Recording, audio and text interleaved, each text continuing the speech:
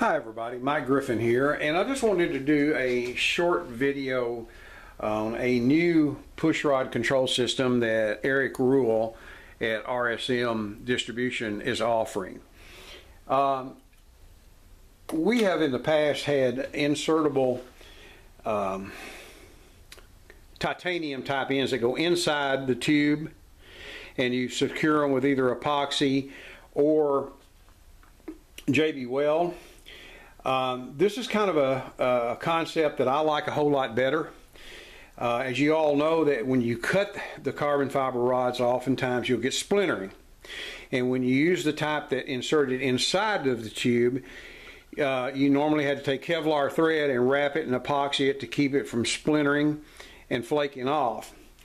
Well this type of system I like much better because it actually captures the rod from the outside as you can see, I'm going to try to hold it up to the camera. I hope it doesn't get too much out of focus. It's like a cup, and, and an integral part of it is the 440 threads on the outside.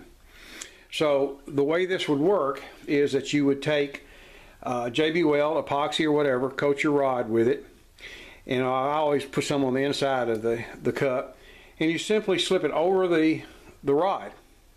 And uh, then you have your um, you and you put your JB weld or epoxy in there and let it dry. And you have one for each end, of course. Uh, I don't know if this is showing on camera, but I'll try to move it back and lay it down. So you have one here and one there. Now you have a short piece that will run from your bell crank to uh, your flap horn if you're using a flat model, if you're building a flat model, and then another rod that would run from your flap horn to your elevators. The nice thing about these is that they are available in right and left hand threads so that when you adjust them by turning the rod, you're adjusting the elevator and the flap at the same time. Um, I want to take one of these off and show you the ball link that comes with this, which I think is incredibly neat. Uh, it doesn't look anything like the Du-Bro 440 ball links that you're used to. This is actually a white nylon end that's threaded for a 440 thread. And inside of here, you have a brass piece that swivels, and it will not come out. You have a stationary nut up at this end and a removable nut here. So actually what happens is that you take that post, you set it through the bell crank, fasten a nut on the bottom side, and then you have a complete swivel like you would by using like a Du-Bro 440 or something like that. So uh, I like this system very much. I'm fixing to use it on my new Shark Profile kit that I've come out with, and also the Tercel, which I'm doing a test build on for Eric. But just want to let you know these are available.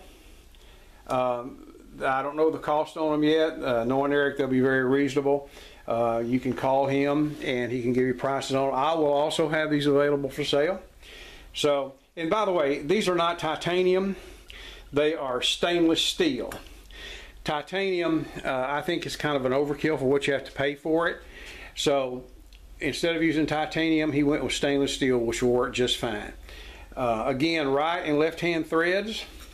So when you glue them and measure and cut to the right length and you glue them to your control rod and you turn your control rod, you can adjust the elevator as well as the flap at the same time by having right and left hand threads on there.